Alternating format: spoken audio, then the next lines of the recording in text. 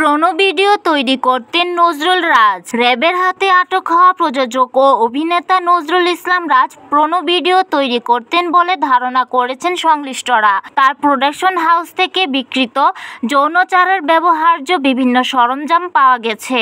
বুধবার রাত সাড়ে আটটার দিকে রাজধানীর বনানী থানার সাত নম্বর সড়কের একচল্লিশ নম্বর বাসায় অভিযান শুরু করে র্যাব।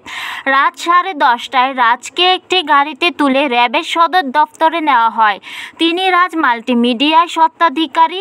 তার বাসা থেকে বিপুল পরিমাণ বিদেশি ব্র্যান্ডের দামি মদ, তিন প্যাকেট ইয়াবা, সীসা সীসা সেবনের সামগ্রী, বেল্ট, দড়ি ভান্ডা মাদক সেবনের জন্য ব্যবহৃত বিশেষ কম্বল সহ বিশেষ সামগ্রী উদ্ধার করা হয়েছে।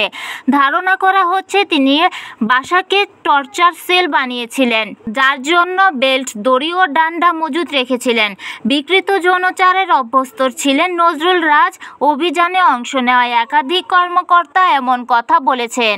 কারণ তার বাসা থেকে ততোধিক নারী পুরুষ একসঙ্গে যৌনচারে লিপ্ত হওয়ার জন্য ব্যবহৃত এবং বিশেষ কৌশল তৈরি করার খাট পাওয়া গেছে।